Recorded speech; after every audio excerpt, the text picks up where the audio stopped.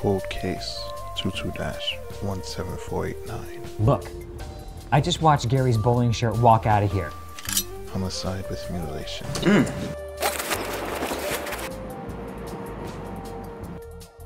Banana. His nude carcass was found wrapped in plastic out in the open in Brooklyn Bridge Park. 36. 21. Taking into account the gruesome nature of the crime, You think you can fly? You don't deserve to live. 36 on that waist, baby. this murder was personal.